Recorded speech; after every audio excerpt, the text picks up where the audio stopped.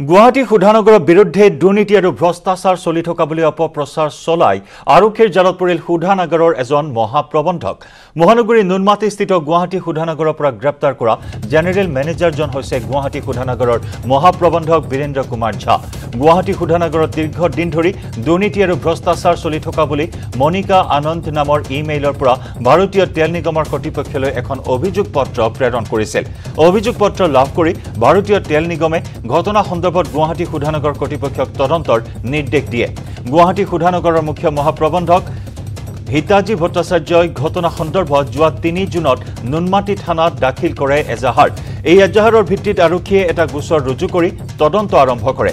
আৰক্ষীৰ প্ৰাথমিক তদন্তত six double zero' two three nine two four two six number ফোনৰ পৰা আই অ' চিৰ শীৰ্ষ বিষয়ালৈ ই মেইল প্ৰেৰণ কৰিছিল বুলি নিশ্চিত তথ্য লাভ কৰে। Six double zero' two three nine two four two six নম্বৰৰ মোবাইল ফোনৰ গৰাকী গুৱাহাটী সুধানগৰৰ মহাপ্ৰবন্ধক বীৰেন্দ্ৰ কুমাৰ ঝা বুলি আৰক্ষীয়ে ধৰা পেলায়। নুনমাটি আৰক্ষীয়ে আজি গুৱাহাটী সুধানগৰৰ চৌহদৰ পৰা মহাপ্ৰবন্ধক বীৰেন্দ্ৰ কুমাৰ ঝাক গ্ৰেপ্তাৰ কৰিছে।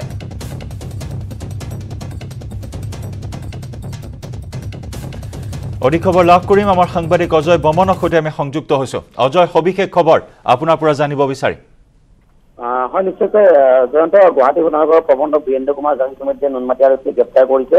সুধানগৰৰ যি নিবনুৱা যুৱক যুৱতী চাকৰি ঠিকা দিয়াৰ নামত দুৰ্নীতি আশ্ৰয় লোৱাৰ অভিযোগত গ্ৰেপ্তাৰ হৈছে বিষয়াগৰাকী। কিন্তু তেওঁ গুৱাহাটী সুধানগৰৰ প্ৰবন্ধক মানে মাৰ্কেটিং মেনেজাৰ হৈ তেওঁ ইতিমধ্যে আমি জানিব পৰা মতে জয়ন্ত আৰু নুনমাটি আৰক্ষী জানিব দিয়া মতে যে এগৰাকী মহিলাৰ নামত তেওঁ ভুৱা এটা ইমেইল খুলি আই অ' চিৰ যি মুখ্য কাৰ্যালয় আছে মুখ্য কাৰ্যালয়লৈ তেওঁ এটা ইমেইল প্ৰেৰণ কৰিছিল। আৰু সেই ইমেইলৰ ভিত্তিত আই অ' চিৰ মুখ্য কাৰ্যালয়ৰ পৰা নুনমাটি সুধানগৰলৈকে এটা বাৰ্তা পঠোৱা হৈছিল যে এই গোটেইখিনি যি ইমেইলখিনিত যি কথা দিয়া হৈছিল সেই কথাখিনি তদন্ত কৰিব লাগে।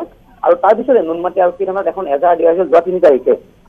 আৰু নুনমাটি আৰক্ষীয়ে তদন্ত কৰি যিটো নম্বৰৰ পৰা মেইলটো প্ৰেৰণ কৰা হৈছিল সেই মেইলটো মাৰ্কেটিং মেনেজাৰ বীৰেন্দ্ৰ কুমাৰ ঝাৰ বুলি নিশ্চিত হয়। তাৰপিছতে বীৰেন্দ্ৰ কুমাৰ আহ, নুনমাটি আৰক্ষীয়ে গ্ৰেপ্তাৰ কৰিছে আৰু ইতিমধ্যে নুনমাটি আৰক্ষীয়ে অধিক তথ্যৰ বাবে তেওঁক সোধপোছ অব্যাহত হৈছে হয়তো পৰৱৰ্তী সময়ত গম পোৱা যাব আহ, কি কাৰণত ইমেইলটো কৰিছিল বা কি কি তেওঁ ঘটনাৰ লগত জড়িত আছিল বা অন্য কিবা আছে নেকি তেওঁৰ লগত জয়ন্ত?